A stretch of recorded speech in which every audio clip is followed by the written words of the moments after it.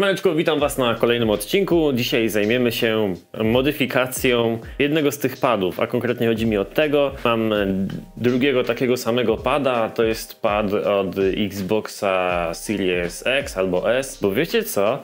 Ja na AliExpressie zamówiłem coś takiego. Można zrobić z tego, z zwykłego pada, można zrobić pada podświetlanego. No, normalnie masz tutaj płytkę, którą instalujesz wewnątrz pada. Tu są wszystkie narzędzia, one się trochę w transporcie widać rozsypały, ale to nie szkodzi.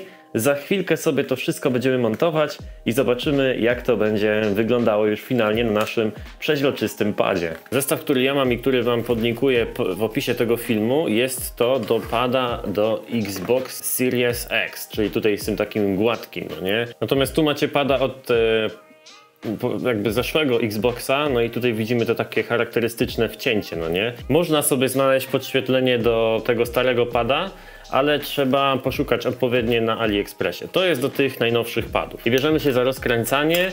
Żeby dostać się do środka, trzeba rozkręcić jakieś śrubki. I tutaj jest taka niewidoczna śrubka, ona znajduje się pod tą naklejką i tą naklejkę niestety trzeba rozwalić. Mamy już odpowiedni zestaw kluczy w zestawie mamy także takie specjalne, ja wiem, obciążki do pod podważania, także bez problemu możemy sobie z tym sami poradzić w domu. Ale ty, ale mocno dokręcone jest. Nie wiem, czy to odkręcę, kurde. Zresztą chyba będę musiał sobie za chwilę e, odpalić film na YouTubie, bo generalnie do montowania tego wszystkiego jest e, odpowiedni poradnik na YouTubie. Nawet od tej firmy, która to produkuje, także bez problemu będzie można sobie to skonstruować. Zanim przejdziemy sobie do przyspieszonego tempa, pokażę Wam w ogóle zawartość tego opakowania, bo totalnie o tym zapomniałem. Więc tak, mamy specjalną płytkę. Ta płytka już posiada LEDy i ją się przyczepia do kontrolera. Mamy przeźroczysty, zobaczcie. To jest przeźroczyste, to będzie jakoś świecić. Chyba przez te takie miejsca ciemne będzie przechodzić światło i można sobie wybrać kolory nawet tego. Ja wybrałem sobie białe, żeby pasowało mi do tego kontrolera yy, Forzowego, no nie? Mamy oczywiście zestaw yy, wszystkich przycisków. Tutaj mamy B. Mamy także przeźroczysty, no jak to się nazywa? No gałka, tak? To jest twardy plastik, to wygląda jakby to było z jakiejś gumy, ale to jest twardy, twardy, fajny plastik. Mamy oczywiście zestaw narzędzi, tutaj jakieś takie narzędzie, żeby można było sobie to precyzyjnie coś tam przyczepić. Tutaj do ściągania pewnie plastików. I tu dodatkowo jakiś śrubokręcik. No i zestaw śrubek dodatkowo do mocowania yy, chyba, chyba tej całej naszej płytki LEDowej.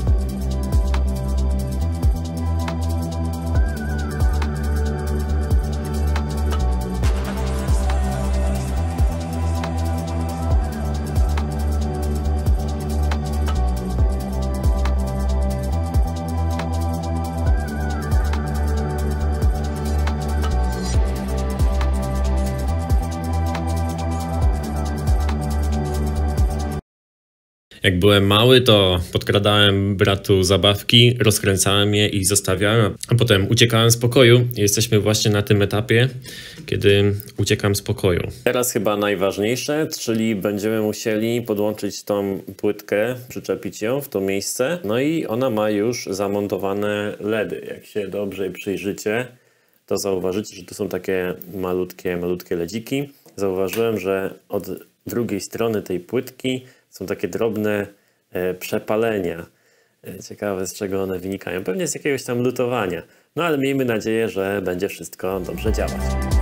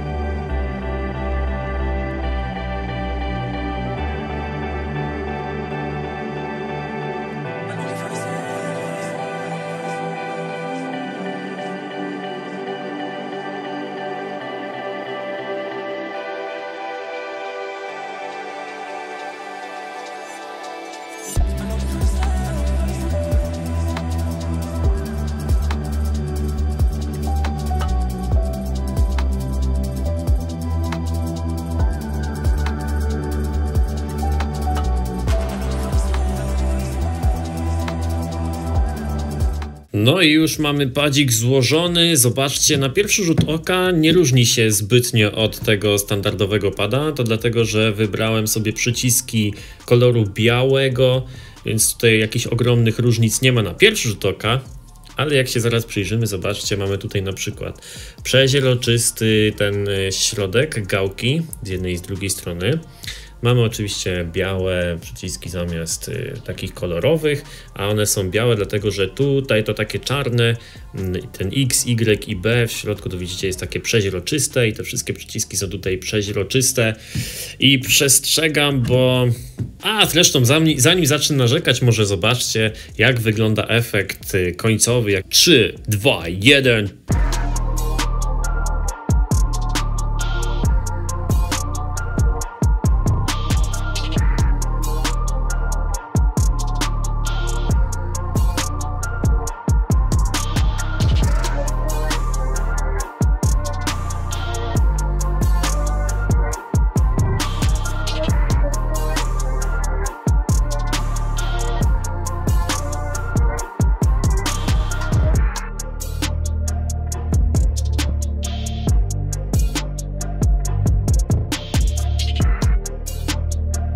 Minusami moim zdaniem są same przyciski, one są słabo wykonane i zwłaszcza ten krzyżak u mnie w tym moim zestawie krzyżak robił problem i musiałem go podszlifować pilnikiem do paznokci, żeby mi odbijał, bo gdzieś tam się zahaczał o plastik i nie chciał odbijać. Tak samo przycisk Y. Jak wy sobie zamówicie y, swój zestaw, to może się okazać, że inny przycisk będzie wam nie odbijał. Trochę był problem z lutowaniem, musiałem sobie przypomnieć, jak się to robi, bo już zapomniałem, ale jakoś mi to poszło nawet całkiem zgrabnie.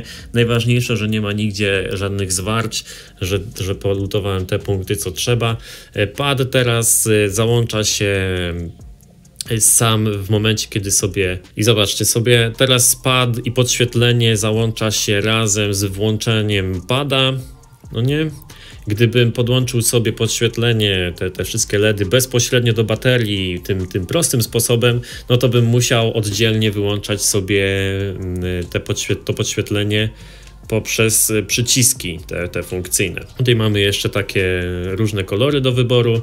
Jak sobie klikamy, zobaczcie, najbardziej mi się podoba chyba ten, bo najbardziej pasuje do tego pada y, żółtego. To jest chyba zielony kolor, tak w ogóle. I, I, mega, mega, mega fajnie to wygląda. A jak ci się znudzi ten kolor, to możesz sobie wybrać zawsze jakiś inny, na przykład taki, nie wiem, fioletowy, jak, albo jakiś taki niebieski, zielony czerwony, albo takie mrygające jest. O, i tu mamy takie łagodne przejścia no, przez wszystkie kolory, więc to jest chyba takie najbardziej fajne, bo co chwilę mamy i, i, pada w innym kolorze.